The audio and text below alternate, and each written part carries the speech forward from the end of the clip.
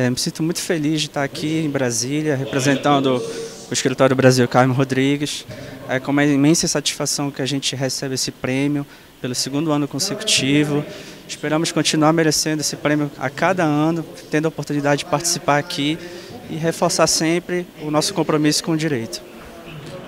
Me sinto honrado de vir aqui em Brasília representar o Escritório Brasil Carmo Rodrigues. É, estamos muito felizes e contentes de participar do evento pelo segundo ano.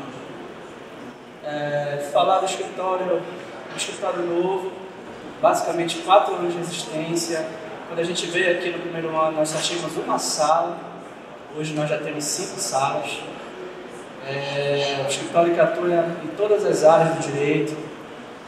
E a gente fica muito feliz de estar aqui participando desse evento da SEC, que é muito importante, é um reconhecimento nacional.